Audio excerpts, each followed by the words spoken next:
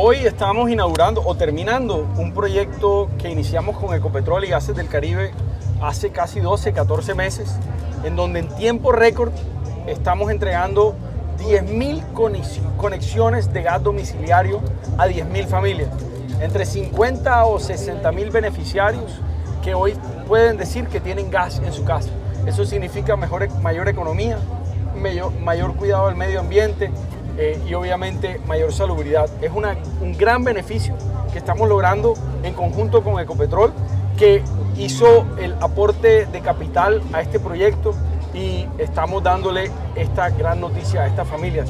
Destaco que trabajamos en equipo entre el sector privado y el sector público, destaco que lo hicimos en tiempo récord y al mismo tiempo muy feliz en poder darle este beneficio a todas estas familias.